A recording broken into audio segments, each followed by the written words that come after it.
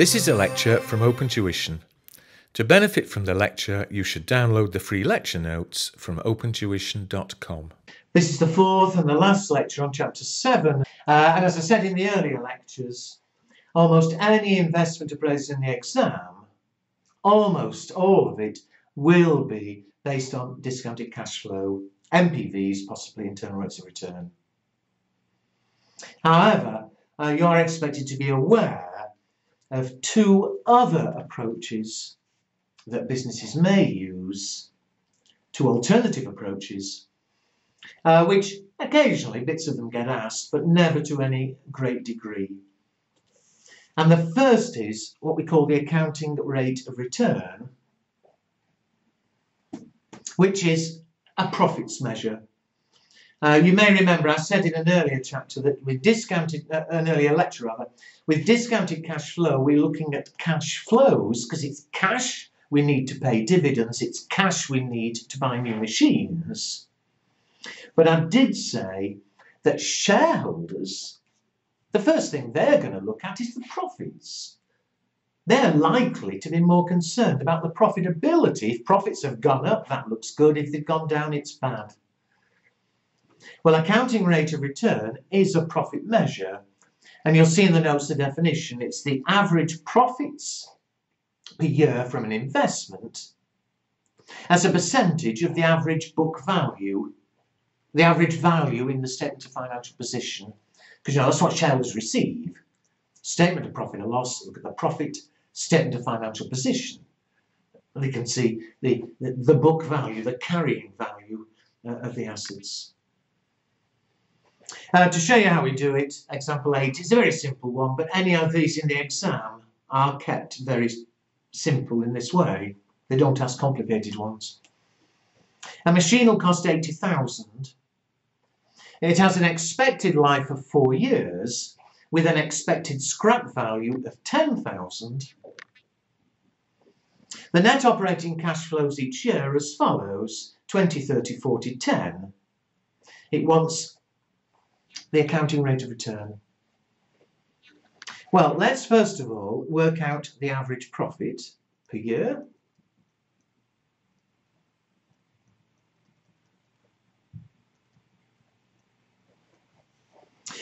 Well, we're told what the cash flows are each year.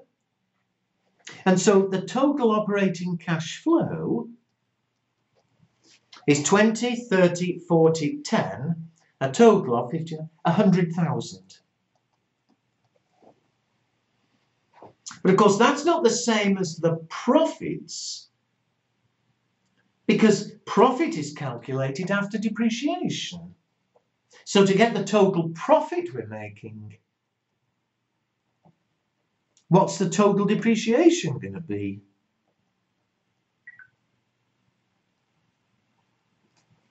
Well, I know there are various ways we could depreciate, but surely in total, if it cost 80 and the scrap value is 10, in total, the depreciation will be 70,000.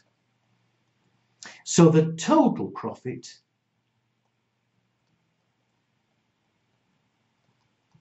will be 30,000. We want the average profit per year well, it's lasting four years. So the average profit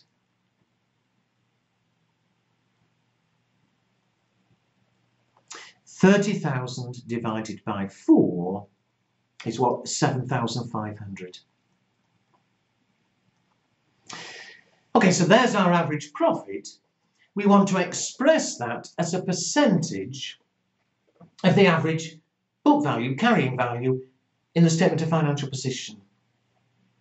So what's the average book value?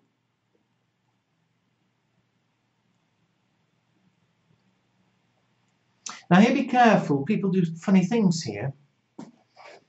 When we buy the machine it costs 80.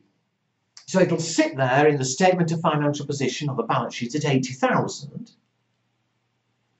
Each year will depreciate, so each year the value will fall. And if there was no scrap value, it would start at 80, it'd fall down to zero, The average would be halfway. 80 down to zero, on average, it would be 40,000. What's happening here? There is a scrap value. So it starts at 80, depreciate, it falls each year down to 10. Well, surely, if it went from 80 down to zero, you'd say the average was 40. If it's start with 80 and if it's still worth 10 at the end, the average is a bit higher. It's 80 plus 10 over 2. The average value in the balance sheet or statement of financial position. 80,000 at the start, the scrap 10,000 at the end. The average divide by 2. So on average, 45,000. And therefore, the uh, accounting rate of return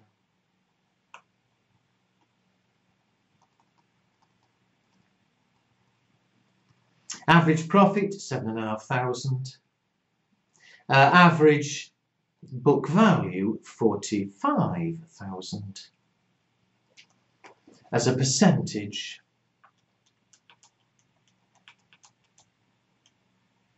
I get 16.67%. Sorry, the pen seems to be going funny. 16.67. Now, as to how we'd use that, uh, companies that looking at accounting rate of return, they would have a target, you know, perhaps their existing return on capital employed. If at the moment overall the business is getting 10% return, this is more than 10, it'd be good. On the other hand, if at the moment they're getting an overall profit return of 20%, then perhaps we'd reject this at 16. So you'd compare it with a target in deciding whether to go ahead or not. So, I say anything on accounting rate of return would be pretty simple in the exam. Primarily we look at discounted cash flow, but just to be safe, be aware of it. Finally, there's one more method that companies use, something called the payback period.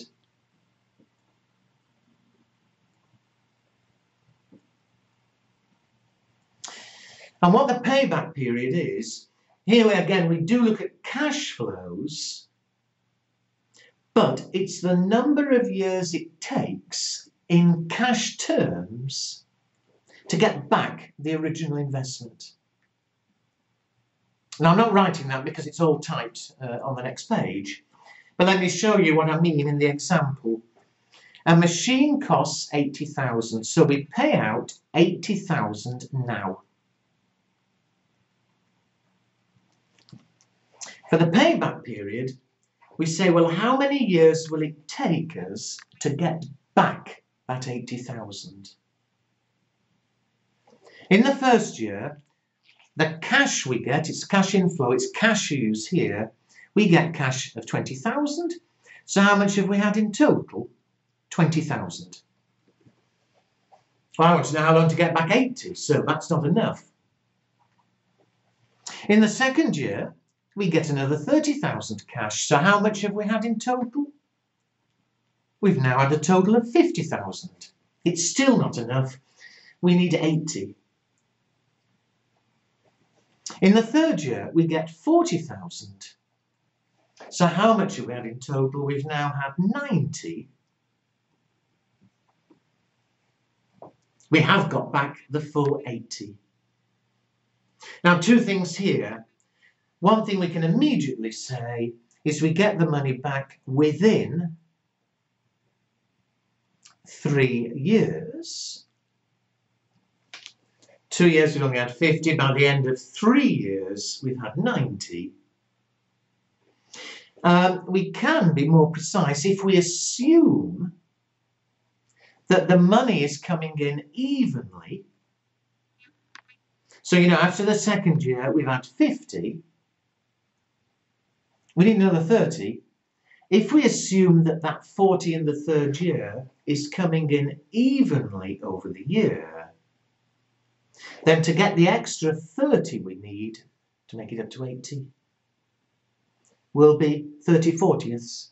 It'll be three quarters of the third year. After two years, you've had 50. If the third year 40 is coming in evenly, to get an extra 30,000, they'll take that fraction of the third year, 2.75 years.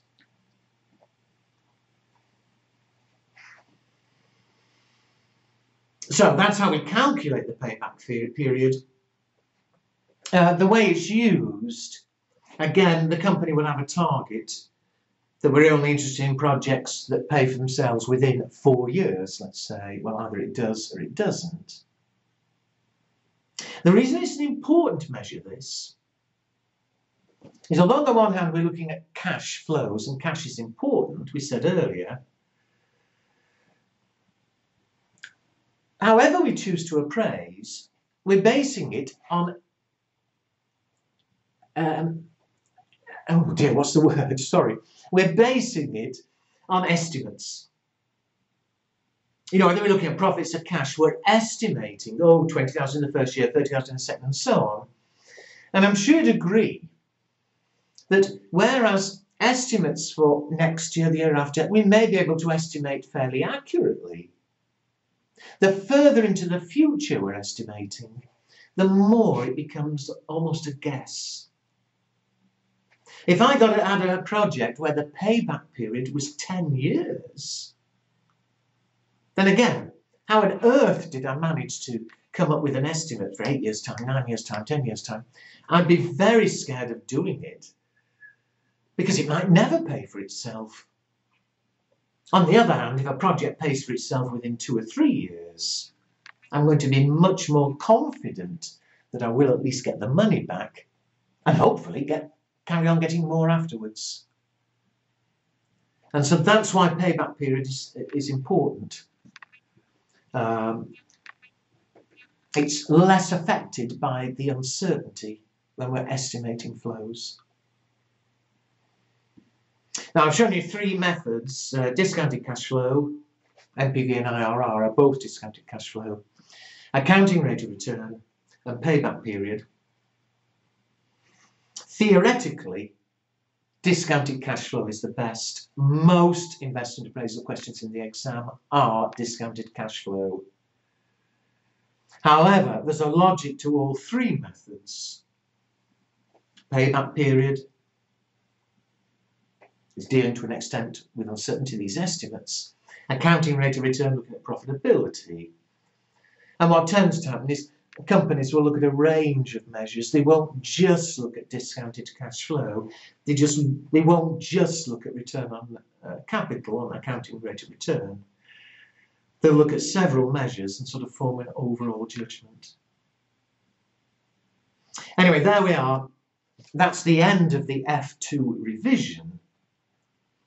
In the remaining chapters on um, this area of the syllabus, we'll look at, as I said earlier, how we get the cash flows in the first place in order to be able to do our discounted cash flow.